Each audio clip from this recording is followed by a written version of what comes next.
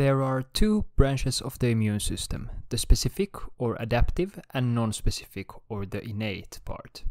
The non-specific or innate part of the immune system is immediate, i.e. it is the quickest to respond but not very specific to any type of infection. Due to its unspecific response, the innate immune response is usually not enough to contain the infection. That is to say, putting an end to the infection or at least bringing it under control will usually not be possible for the innate immune system alone.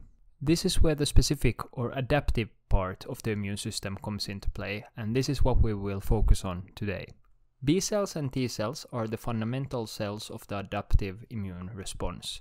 The adaptive immune response consists of humoral mediated immunity, which is provided by B cells in addition to cell-mediated immunity, which is provided by T cells.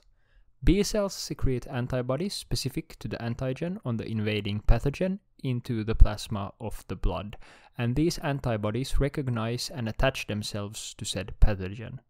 However, if the infection has reached the inside of the cell, it is unreachable to these antibodies, or in other words, humoral mediated immunity is unable to take care of the issue.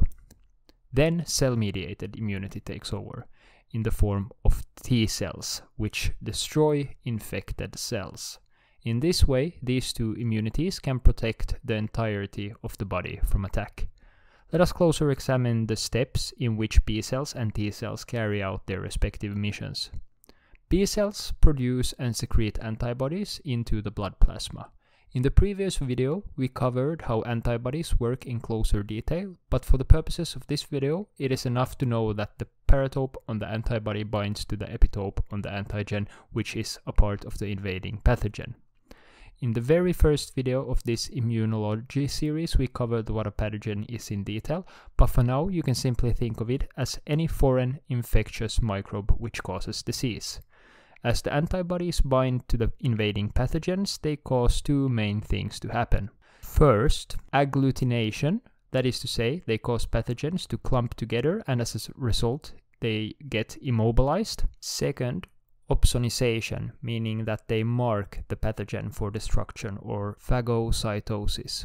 This is done by simultaneously binding to the pathogen on one end and on the other end binding to one out of the many phagocytic cells that circulate the bloodstream.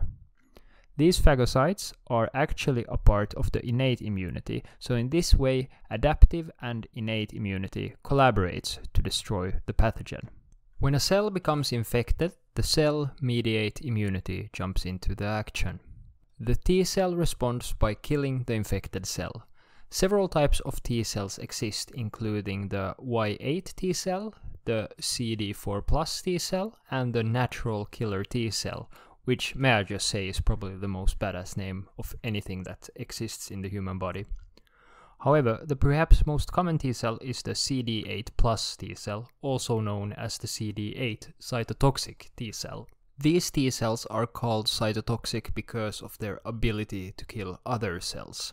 In other words, if a cell has gotten infected by a virus, for example, the CD8 cytotoxic T cell will come along and destroy the entire cell. This will prevent the virus from replicating itself, since it requires a cell from the human body to do so. What's perhaps even cooler is that while it is generally not enough to rid the body of cancer, CD8 cytotoxic T cells are also able to kill cancer cells.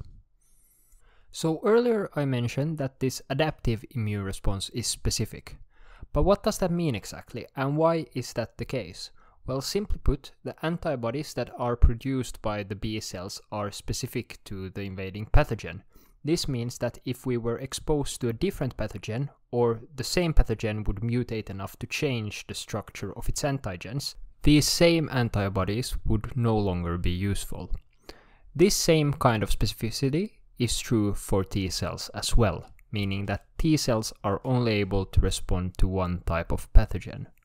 But how do the B cells know how to produce antibodies that are specific to the invading pathogens, I hear you asking?